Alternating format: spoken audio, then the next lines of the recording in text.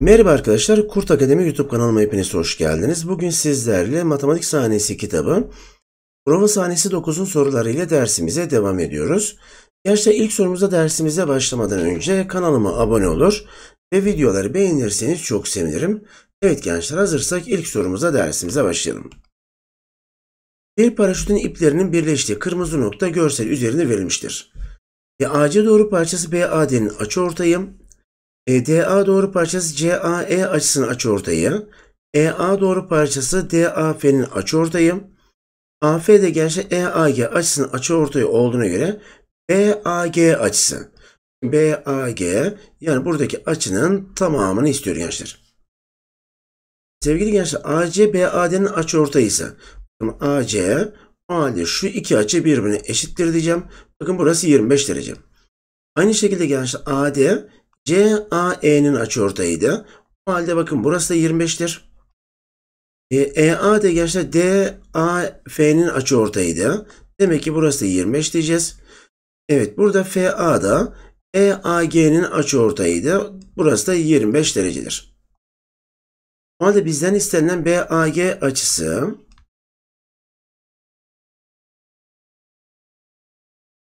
Gördüğünüz gibi 1, 2, 3, 4, 5 tane 25'ten oluşuyor. Hadi 5 çarpı 25.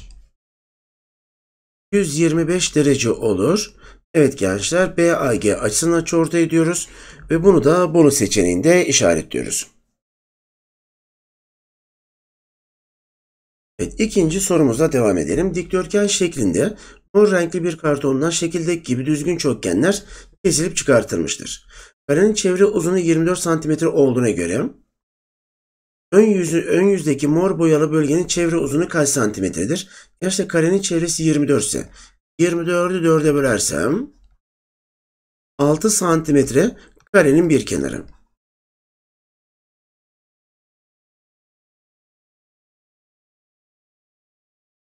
Arkadaşlar bakın burası 6 santimetre.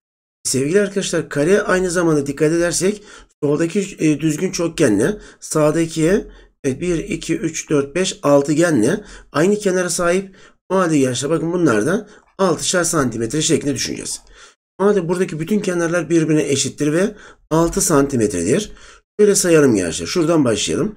1, 2, 3, 4, 5, 6, 7, 8, 9, 10, 11, 12, 13, 14, 15, 16, 17, 18, 19, 20. Bakın 20 tane 6'dan oluşuyor. Şuradaki içerideki çevremiz.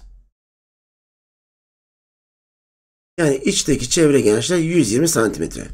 Dışarıda da gençler dikdörtgen olduğu için kısa kenar 40, uzun kenar 60. O halde dikdörtgenin çevresi 2 çarpı kısa kenarla uzun kenarın toplamıydı. Buradan çevre eşittir. 2 çarpı 100'den dikdörtgenin çevresi 200 santimetre. O şeklin çevresi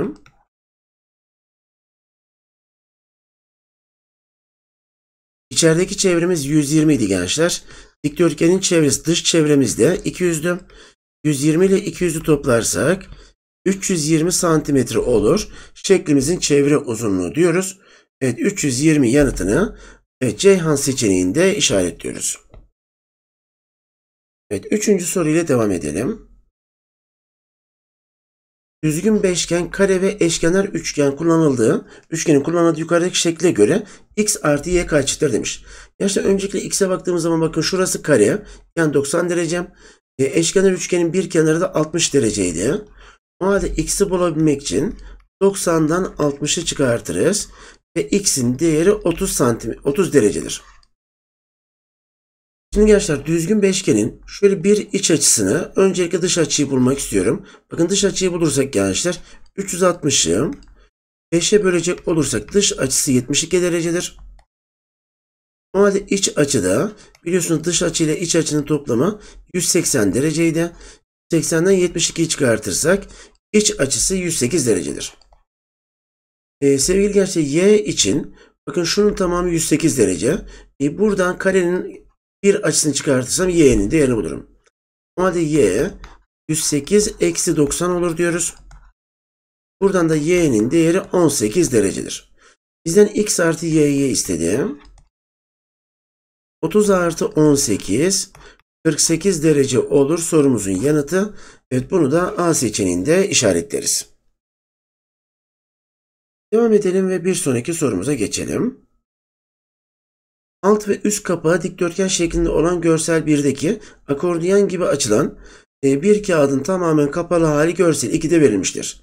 Özdeş alt ve üst kapak birbirine paralel olan e, birbirine paralel olacak şekilde açıldığında ardışık yapraklar arasındaki açılar görsel 1'deki gibi olduğuna göre soru işaretiyle gösterilen açının ölçüsü kaç derecedir?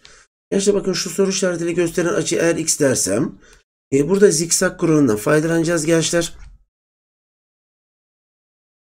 E, zikzak kuralında sola bakanların toplamı sağa bakanların toplamına eşitti.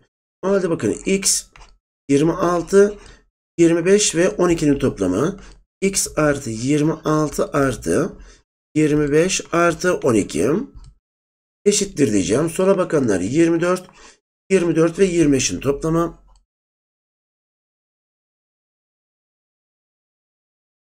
E buradan gerçi 26, 25 daha 51 yapar. E 12 ile toplarsam 63. O x artı 63 eşittir. 24, 24, 48, 25 de eklersek 73 yapar. Buradan da x'in değeri 73'ten 63'ü çıkartırsam Evet 10 derece olur x'in yani soru işaretiyle gösterilen açının değeri ve A seçeneği doğru yanıt olur deriz. Beşinci soru ile devam edelim. Evet, birer kenarları ortak olan farklı renklerdeki düzgün çokgenleri yukarıdaki verilen şekilde e, şekildeki gibi iç içe yerleştirmiştir. Buna göre mavi çokgen ile yeşil çokgenin arasında kalan açının ölçüsü, gri çokgen ile Kırmızı çokgen arasında kalan açının ölçüsüne kaç derece fazladır? Gençler bakın mavi ile yeşil arasında kalan açımız burası. Buraya x dersem. Şimdi gençler maviye baktığımız zaman e, şu yeşilimiz zaten belli eşkenar üçgen olduğu için burası 60 derece. Mavi gençlik kaçgen öncelikle buna bakalım. 1, 2, 3, 4, 5, 6, 7, 8. Evet, 8 gen gençler. O halde düzgün 8 genin bir iç açısına bakacağım öncelikle.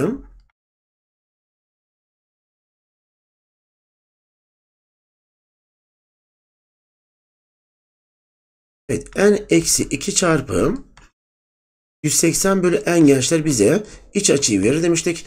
Burada sekizgen olduğu için 8 eksi 2 çarpı 180 bölü 8 dersek e, düzenlersem gençler 6 çarpı 180 bölü 8 Buradan şöyle yapalım gençler. 2'ye böldüm 3, 2'ye böldüm 4. 180'i 4'e bölersek 35 kalır.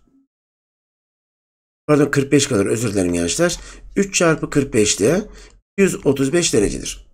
Hadi x'i bulabilmek için gençler sekizgenin bir iç açısı 135 ise x'in değerini bulmak için 135'ten 60'ı çıkarıyorum ve x'in değeri 75 derecedir. Gençler bakın dışarıdaki en dışarıdaki çokgenimiz 1, 2, 3, 4, 5, 6, 7, 8, 9, 10, 11, 12 gen gençler. O halde 12 genin bir dış açısını bularak e, dış açısını daha rahat hesap edelim gençler. 360'ı 12'ye bölersem gençler dış açısı 30 derecedir.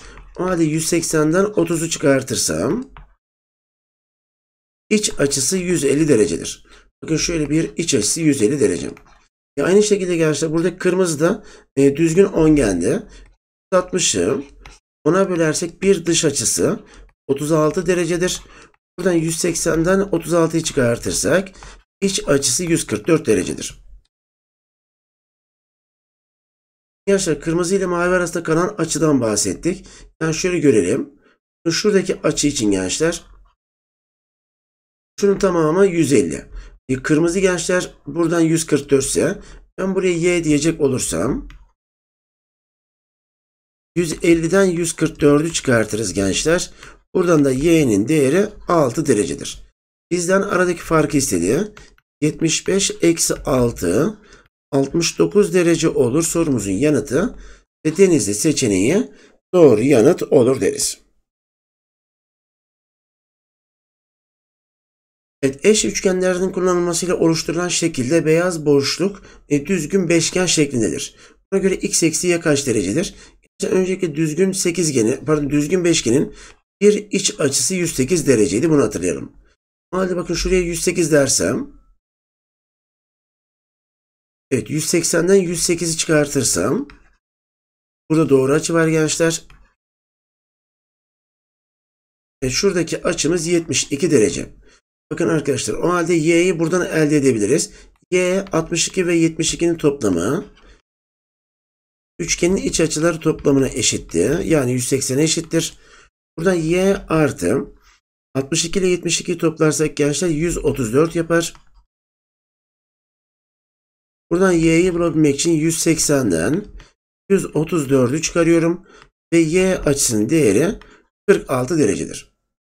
Evet gençler y 46 derece. Evet buradan gençler x'e bakalım. Şimdi x için de arkadaşlar şöyle diyeceğim. E, yine düzgün beşgeni bakın buradaki açısı 108 dereceydi. Hadi bu tamamı 180 ise x gençler daha kolay hesap edeceğiz. 180'den 108'i çıkarıyorum. Ve x'in değeri 72 derecedir. Bizden x eksi y istedim. 72 eksi 46'dan 26 derece olur sorumuzun yanıtı.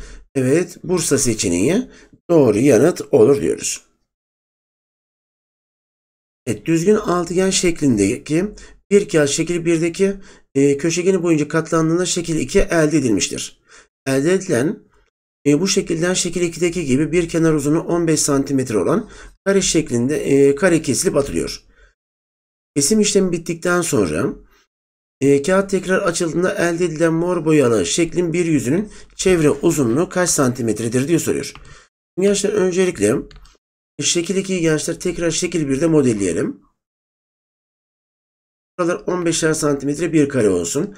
Yaşa bunun aynı zamanda alt tarafta bakın simetrisi de kesilip atılacak şekilde düşünüyoruz. E, şu kısım gençler şuradan kesilip atılıyor. O halde öncelikle bunun bir kenar 15 ise bakın bu kareydi gençler. Buralar 15 ve buralarda 15'ti. Simetrisini açtığımızı düşünelim. O halde içerideki çevremiz 1, 2, 3, 4, 5, 6 tane 15'ten 6 çarpı 15 90 santimetredir. Gençler şeklimiz altıgen olduğu için dış çevremizde altı çarpı 20'den 120 santimetredir. O halde şeklin çevresi evet, içerideki atıldıktan sonra gençler şeklimizin çevresi dış çevreli, yani 120 ile içerideki çevrenin toplamıdır. Bu da gördüğünüz gibi 210 santimetre olur diyoruz. Ve Bursa seçeneğini işaretliyoruz. Evet gençler. Turuncu e, renkli düzgün e, sekizgen ve mavi renkli kare ile oluşturulan e, yukarıdaki şekle göre BAC açısının ölçüsünü istiyor. Gençler BAC şuradaki açımız. Burayı soruyor. Gençler düzgün sekizgenin bakın şöyle bir dış açısını bulacak olursak iç açı daha rahat gösterebiliriz. 360'ı 8'e bölersem 45 derece olur. Bir dış açısı. O halde iç açı için 80'den 45'i çıkartırsam düzgün çokgenin yani düzgün sekizgenin bir iç açısı 135 derecedir. Gençler bakın şurası 135 derece. Bir kare gençler 90 dereceydi bir köşesi. O halde şu B açısını bulmak için bakın ben buraya gençler eğer x diyecek olursam x artı 90 artı 135 360 derece olur. Buradan x artı 225 360 derece ise x'in değeri 360'tan 225'i çıkartırsak 135 derecedir. Gençler bakın şurası 135 derece. Sevgili gençler bakın burada oluşan e, BAC üçgeninde şimdi karenin bir kenarıyla Düzgün sekizgenin bir kenarı eşit olduğu için ikiz kenar üçgendir.